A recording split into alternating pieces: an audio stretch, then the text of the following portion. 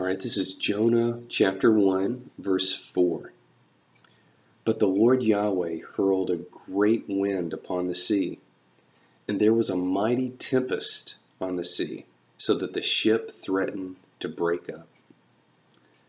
So God had an assignment for Jonah, but Jonah decided not to cooperate.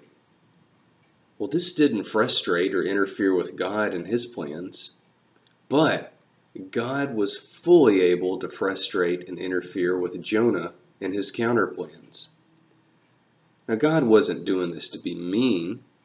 He cared enough about Jonah to prevent him from straying too far away. Has God ever gotten your attention when you were straying away from Him?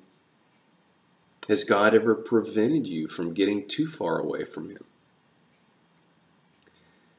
As you meditate on this passage, I want you to welcome God to stop you when you're on the wrong path. Think about that throughout your day. And as you respond in prayer to this passage, tell God that you like His caring nature to intervene in your life when you're going down the wrong path. This is praise. And ask Him to intervene even more in your life and point out when you're wrong and step out in faith. Welcome God's involvement in your life continually throughout the day.